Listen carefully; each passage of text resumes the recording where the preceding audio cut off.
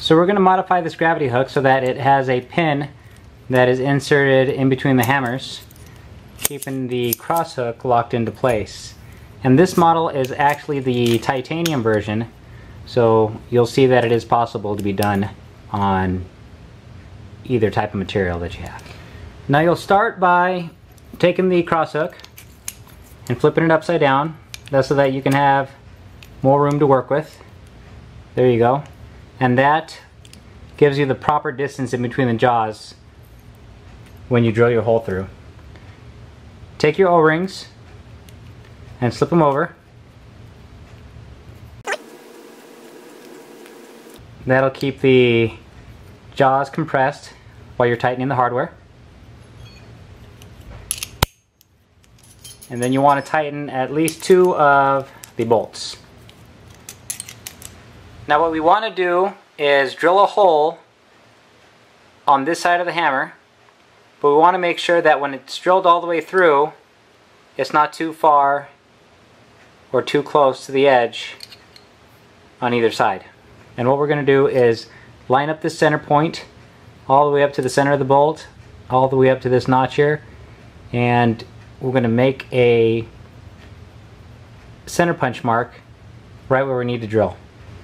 At this point I've removed the shackle and also the o-rings so that when I take my pencil and draw a line vertically through this point here I have less interference with my straight edge.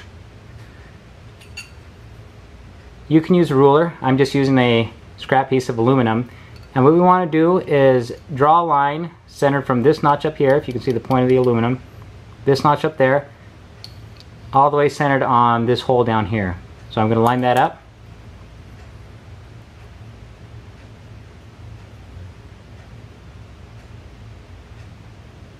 There we go, that looks about right. Draw my line. Okay. You can see the pencil line there faintly. It should go, should go right in between these two bolts and right up to the center of this bolt here. Now there is a template you can look at to help you place the hole that you're going to be drilling, but it's not necessary if you're able to draw a line like this. Now this operation is best done on a drill press. If you don't have one, it's not an uncommon tool. You should be able to find somebody who does have possession of one. But before I start doing this, I'm going to mark another line here and it's going to follow this curve right into the center point here and that's just to help me position this hole so I don't go too far towards the edge of this hammer. So if I'm using a quarter inch bit we don't want it too far down because then it's going to poke out on the silhouette of this side. So we'll start with a small drill. Again this is titanium and I have two pieces of 3 quarter inch wood. So there we go. It's important that you use a center punch to mark where the drill bit is going to go. That way you don't have it wandering around. And I'm just going to do it right in the center here. This one's an automatic center punch, but you can use the old-fashioned ones with uh, just a hammer. So here we go.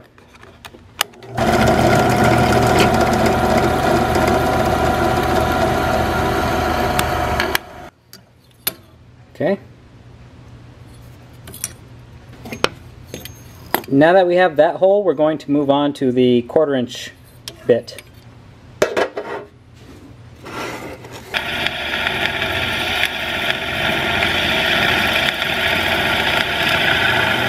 There we go.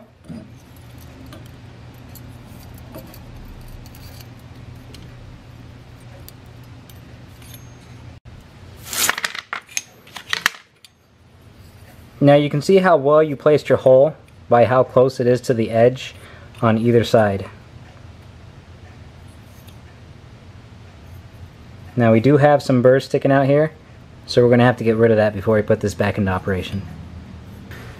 Alright, so now that that's in there, the burr's gone, I use a drill bit the next size up to help up the edge. I'm going to put it back together the way it was. Okay, so here we are. And when we want to install our cross hook, we simply put it in.